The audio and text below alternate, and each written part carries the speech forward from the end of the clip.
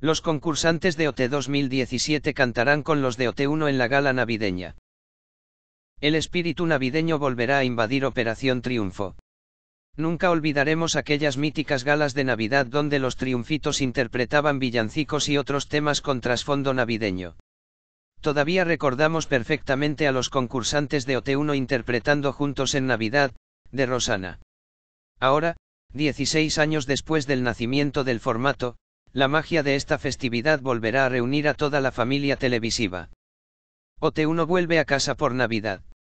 Según ha podido saber en exclusiva Fórmula TV, Televisión Española recurrirá a OT 2017 para realizar una gala especial navideña que reunirá a los concursantes de la actual edición con los icónicos triunfitos de OT1, tal y como ocurriese con la gala Generación OT donde se unieron las dos primeras ediciones. Durante el programa, los nuevos concursantes compartirán escenario con los primeros triunfitos del talent show de Gest Music.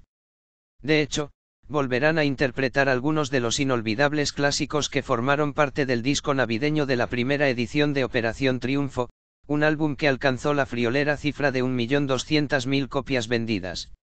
Aunque todavía se desconoce qué cantantes de la primera generación participarán. Probablemente, resulte complicado contar con Chenoa, ya que la jueza de Tu cara me suena tiene contrato de exclusividad con el grupo A3 Media. Pero, sin duda, sería un gran reclamo si acabase reencontrándose con David Bisbal sobre un escenario. Soñar es gratis en Navidad. Cerrado por Navidad.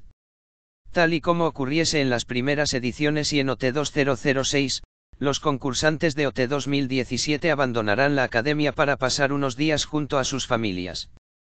De este modo, la escuela de alto rendimiento cerrará sus puertas para que tanto el equipo como los alumnos puedan disfrutar de un merecido descanso. Tras la emisión de la gala navideña, el 25 de diciembre, que será grabada previamente, retomarán la actividad habitual para preparar la gala del 2 de enero de 2018.